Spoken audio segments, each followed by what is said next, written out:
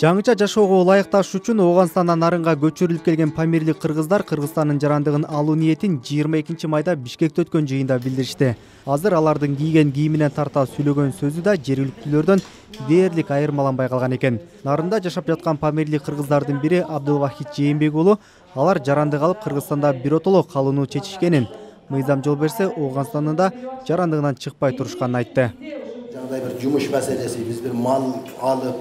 біреуінің үйде жаңағыдай мал қарап ондай қылышты эле қиын екен эми жаңы жер өзүңдүкү болсо үй өзүңдүкү болсо бир жерде айыл болсоң кезек менен малыңды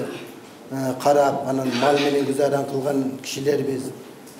ошончолук сөзүм бар анан башкана мына ушу жарандык маселеси эгер биздин афганистан мамлекетиге бир кош жарандуулук деген бир закону болсо кыргыз мамлекетинин закону да болсо анан бул эки мамлекеттин закону да болгон болсо ушу жарандуулук менен камсыз кылса деп бул үмүтүбүз деле бар кыргызстанга алып келинген памирлик кыргыздарга кайрылман статусу берилген тышкы иштер министрлигинин маалыматы боюнча бул статус ооруканада дарыланууга билим алууга төрөлгөн балдарга туулгандыгы тууралуу күбөлүк жана үйлөнгөндөр нике күбөлүгүн алууга укук берет ошондой эле бул макам жарандык алууга дагы өбөлгө болот ушул эле статус менен памирлик кыргыздардын балдары айына бир миң эки жүз он беш сомдон жөлөк пул бир адам пенсия алып жатат кыргызстанга келгенден кийин төрөлгөн төрт балага сүйүнчү пул берилген дагы бир памирлик кыргыз абдыгафар абдырасул аларга түзүлгөн шарт жакканын башка да боордоштор келүүгө ниеттенип жатканын айтат биз кетпейбиз биз элибиз деп келгенбиз биз жерибиз деп келгенбиз биз жерибизден эч жакка кетпейбиз биз он бир үй бүлө келген элек азыр он бир үй бүлөнүн үстүгө дагы памирден биз барабыз деп жаткан кишилер толтура болуп жатат мамлекеттик каттоо кызматынын алдындагы калкты жана жарандык абалдын актыларын каттоо департаментинин маалыматына караганда этникалык кыргыздар жеңилдетилген жол менен жарандык ала алат ошол эле учурда ал өзүнүн мамлекетинин жарандыгынан баш тартпай коюуга укугу бар. Бул тууралуу аталган департаменттин бөлүм башчысы гүлбарчын турдубаева билдирди жана жарандык алуунун жол жобосун түшүндүрдү и э, биздин э, калкты каттоо департаменти ошол э, биздин милдетибиз документтерди чогултуп жарандык боюнча комиссияга жөнөтөбүз. Чечим ошол комиссиядан кабыл алынат да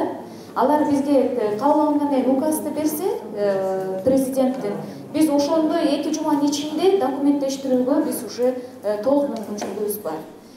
Дегени менен тышкы иштер министринин кеңешчиси алмаз асанбаев памирлик кыргыздарга кыргыз жарандыгы берилсе ооганстандын бийлиги менен маселе жаралышы мүмкүн экенин эскертти анткени алар кыргызстандан билим алып кайра ооганстанга барып ал жактагы адамдардын кат сабатын жоюу келишими менен келген. Ал эми чоңдор балдарга баш көз болуу үчүн гана кошо жиберилген. Ар бир мамлекет өз жарандарына кызыктар ар бир мамлекет өз жарандарын өзүнүн мамлекетинде сактап калышка аракет кылат. Бул аракеттерге эч ким тоскоолдук кыла албайт. Анткени ошол мамлекеттин жараны. Ал мамлекет бүгүнкү күнү эгерде ушул жарандар өзүнүн өзүнө ошол мамлекеттин алдында алып атпайбы мен кайра кайтып келем деген мындай обязательство алып атпайбы эгер булар аны аткарбай койсо бул оогандык кыргыздар келечекте кыргызстанга кетсе кайра келбей калат экен деп аларды чыгарбай коет кандын басымы көтөрүлгөн эле жазып коюңу кан басымы ушарма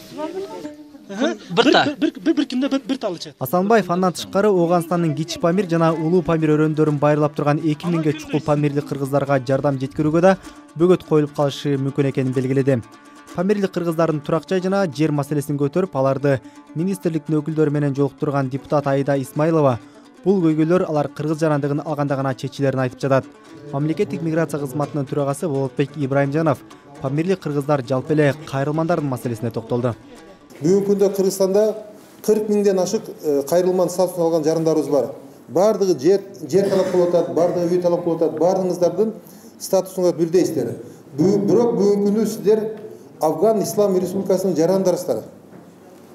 былтыркы жылы менин маалыматым боюнча жарандык алабыз деген оюңар жок эле. Быйыл ушундай ой пайда болуптур мен бул сиздердин оюңуздарды колдойм бул туура чечим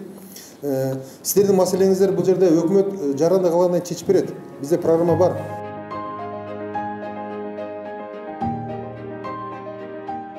Эки миң он жетинчи жылы жаңыча жашоого ылайыкташуу үчүн ооганстандан нарынга элүү памирлик кыргыз келген. Он бир үй бүлө же кырк тогуз киши нарында жашаса экөө ошто окуп жатат. Былтыр он сегизи ооганстанга кетип кайра бирөө гана кайтып келген